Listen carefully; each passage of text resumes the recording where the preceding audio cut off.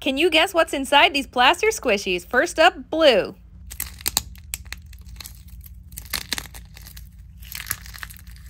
Did any of you actually guess it was an egg squishy? Second up, orange. So what do you think is in this big orange one?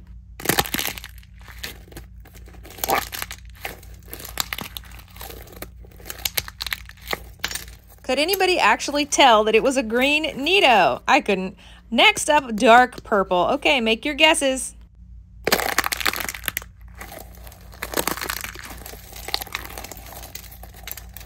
Did I fool you with the DNA ball? That one was pretty hard. Okay, the last one is this pink kind of kitty looking squishy. What color kitty do you think it is?